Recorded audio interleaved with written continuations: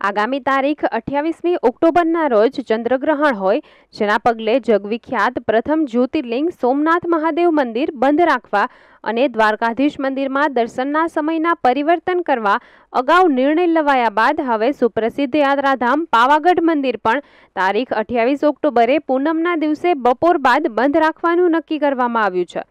ગ્રહણ હોવાથી બપોરે બે ત્રીસ વાગ્યા બાદ મંદિર બંધ રહેશે અને આ ગ્રહણનો મોક્ષ થયે નિયત વિધિ વિધાન કર્યા બાદ મંદિરના દ્વાર ભક્તો માટે ખુલ્લા મુકાશે.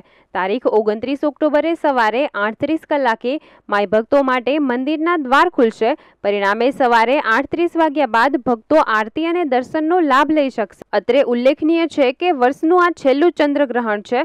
જે તારીખ ઓગણત્રીસ ઓક્ટોબરે એકને પાંચ વાગ્યે શરૂ થઈ, રાત્રે બેને ચોવીસ વાગ્યે સમાપ્ત થશે. તો બીજી તરફ શરદ પૂનમના દિવસે પાવાગઢ જનારા ભક્તો આ નિર્ણયને ધ્યાનમાં રાખીને દર્શને જવા માટે આયોજન કરવા મંદિર ટ્રસ્ટ દ્વારા અપીલ કરવામાં આવી છે.